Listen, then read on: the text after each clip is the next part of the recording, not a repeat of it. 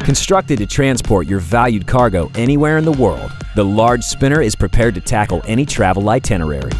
Made using three layers for scratch resistance with 100% virgin Makrolon polycarbonate, Torq's outer shell is high strength, lightweight, and provides elasticity and resiliency. Premium metal hardware, tactile and retractable soft touch carry handles, and strategically molded grab locations make handling the bag easy and a monogrammable plate allows you to add your distinct initials, making the bag all your own.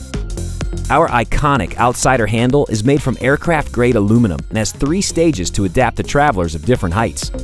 An integrated ID tag in between the handlebars is a sleek way to conceal your personal information.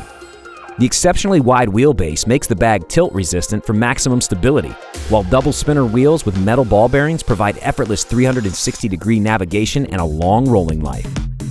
This large spinner has a 70-30 lid opening, which allows the bag to be packed like a traditional suitcase on a luggage rack.